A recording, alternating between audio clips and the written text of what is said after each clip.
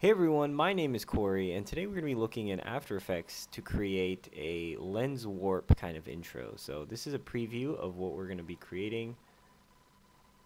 Kind of just splices in there. You can actually even still see the lens flare a little bit.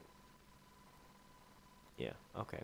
So we're going to be creating that, really simple to do. So we're going to go ahead and go into After Effects, create a new composition. I'm going to use a black background at 5 seconds, import my file, which is called that. Uh, okay, so I have my image here. I need to scale it down because it's 4K. So if you click on one of the corners and hit Shift, it'll kind of uniformly scale it down. Let's make sure it's level. Again, click on it, hold Shift, move it on the horizontal axis just to put it in the center there a little bit. So the effect that we're going to be using today is called CC Lens. So if we go ahead and grab that on and drag that onto our image here and we have a couple different options. So you can start however you want. You can start from nothing which is zero.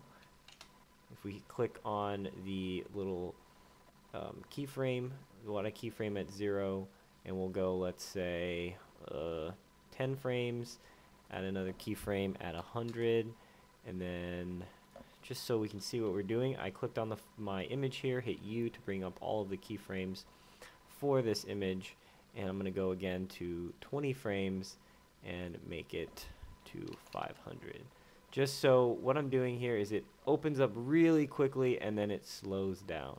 Um, you can have it just open up really quickly all the way that's up to you but that's kind of how um, I want to do it. And you can mess with the convergence here which kind of gives it a little fisheye effect. Um, that's up to you but I'm going to leave that alone. And so what we've just created Oops, I have to have a little bit of convergence, I'm sorry.